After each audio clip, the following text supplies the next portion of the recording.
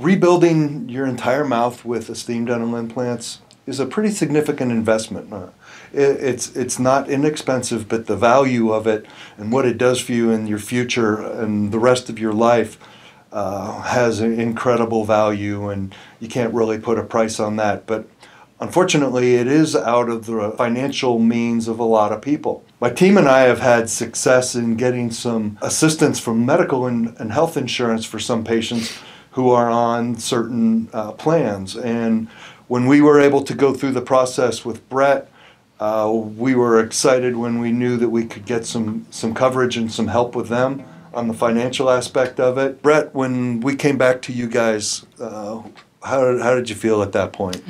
Um, I was amazed, honestly. I already had high hopes that y'all were going to be able to, to work with us on something, but after you came back and told me that we were going to make it into a position where it wasn't just going to completely, you know, destroy our finances or anything, you were able um, to get that uh, a different plan down. I've read the email, and both of us just broke down in tears. Like not not only, well, like I said, was I, you know, pretty pretty confident in what you know we were going to be able to do, but just that over the top effort to make sure we were comfortable and whatnot is is amazing, and I'm these next seven days are going to be the longest seven days of my life waiting for this to happen. But Yeah. very appreciative. That's a, we're we're super excited and, and blessed to be able to go along with you on this journey.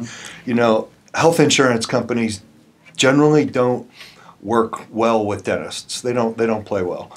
Uh, there's cases where we've had procedures that are acceptable procedures for specific plans, but because we are dentists, they disallow them and they don't allow coverage. But we work with a company that's made it possible for us to get coverage for a lot of people. Uh, there's a lot of exclusions and there's a lot of paperwork and red tape that we have to go through. But we've had so many patients that have got new smiles because of what we've been able to do with their medical insurance. It's absolutely worth all the extra effort to get people uh, the uh, get them the chance to to have a new life with a new smile. And we're super excited to be able to do that with you guys. Absolutely. Yeah, next week can't come here soon enough. No,